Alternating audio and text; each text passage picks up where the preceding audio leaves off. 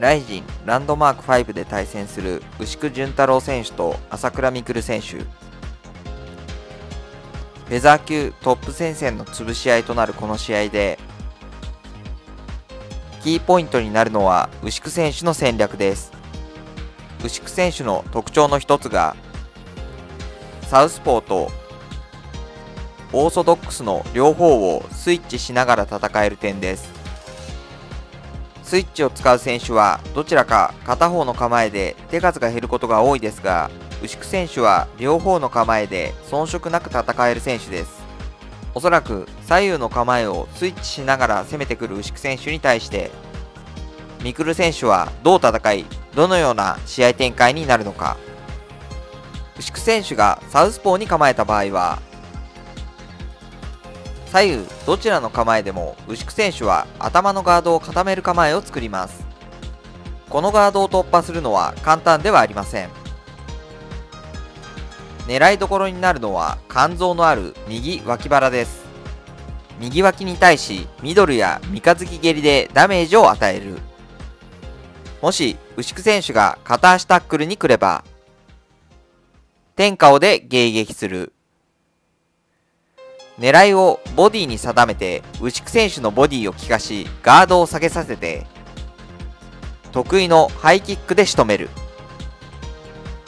このミクル選手の必勝パターンに対し牛久選手としてはミクル選手の戦略の軸となる蹴りを防ぎたいので斉藤選手の戦略を参考にする可能性があります。斉藤選手の戦略はミクル選手の蹴りを外すためにミクル選手の外側に立つという戦略でした。ミクル選手の蹴りをもらわないように外方向に回り込み外側からパンチで飛び込む。ミクル選手はこの飛び込みに対し得意の右フックのカウンターを狙いましたが斉藤選手はカウンターに対するカウンターを合わせていました。さらに外を取る動きを追いかけてミクル選手の体が開いてくれば両足タックルに入る。牛久選手には斉藤選手を倒した左ハイキックもあるので攻撃のバリエーションはさらに広がります。オーソドックスで外が取れれば牛久選手が主導権を握る展開になる可能性もありますが外を取ることを意識しすぎると未来選手の鋭い左ストレート。と見分けのつきにくいニータップでテイクダウンを取られるリスクが生まれます。ニータップは前足を狙って倒す技なので足が外にあると倒しやすくなります。さらに未来選手のストレートとフォームが非常に似ているので見分けるのは困難です。牛久選手がオーソドックスで戦う場合は打撃とテイクダウンの両方を警戒しなくてはいけません。牛久選手がサウスポーで構えた場合は前足が右足になります。相手がオーソドックスであれば自分の前手と相手の前足が近いので未来選手にとって足がつかみやすくなりますがサウスポーだと後ろ手で掴まなくてはいけないので距離が遠くなりつかみにくくなります。さらに左右が逆になるのでフェイントになるのは左ストレートではなく右のジャブになりますがミクル選手はジャブの手数が多い選手ではありません。さらにストレートに比べれば被弾してもダメージは軽いのでミクル選手がジャブと見せかけて右手を前に出しながら2タップを狙ったとしてもジャブの被弾覚悟で足を引けば牛久選手にとって見極めるのは難しくないと思われます。牛久選手はサウスポーであればテイクダウンを気にせず打撃だけを警戒し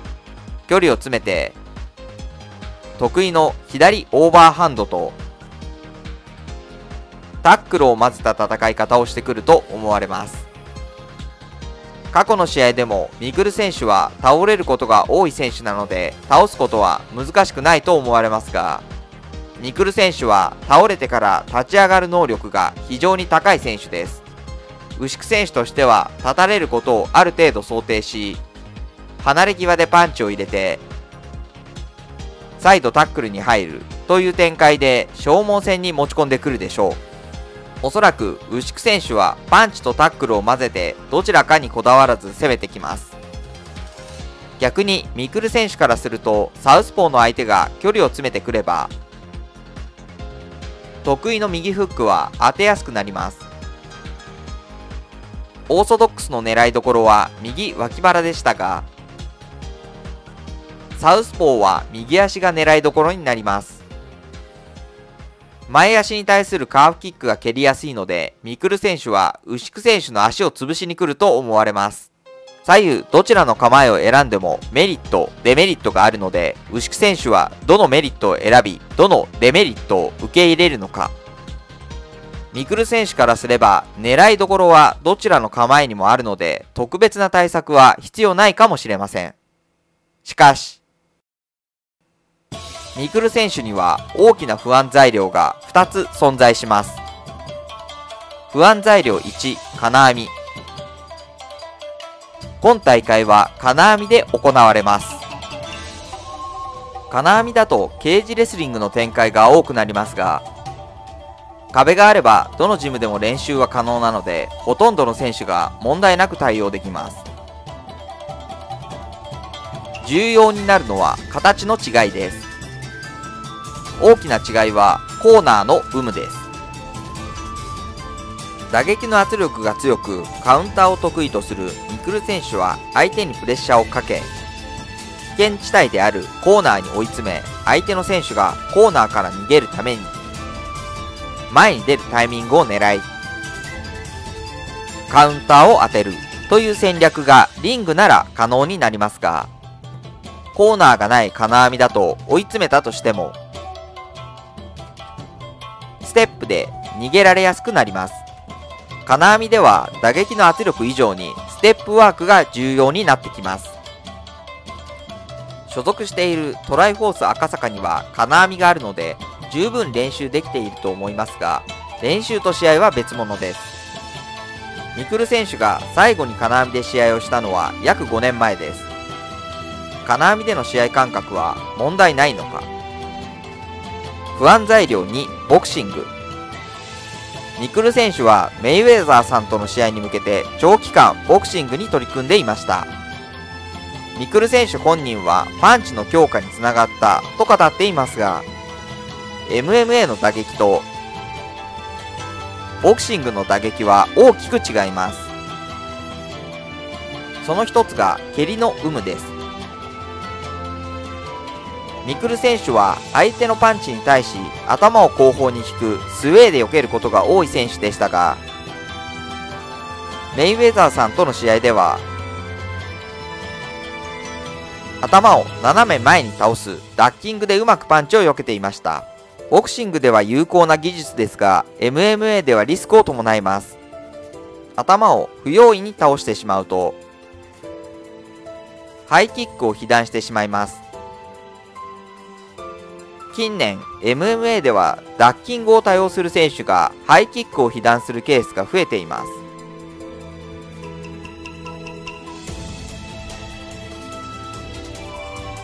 MMA とボクシングの違いは他にも多く存在します。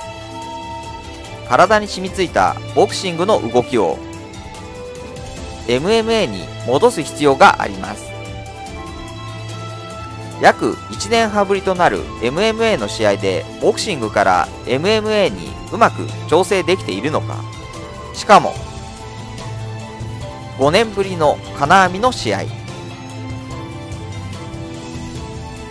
ミクル選手にとってこの2つの不安材料がどの程度試合に影響するのかは試合を見るまで何とも言えません。当然牛久陣営もその点は理解しているのでボクシングにはない蹴りと、ケージレスリングで攻める。という戦略をミクル選手が予想していると読んで、あえて裏をかき、パンチで攻めるという戦略を用意してくるかもしれません。両者がどのような戦略を用意してくるのかは全くわからないので、試合当日を楽しみに待ちたいと思います。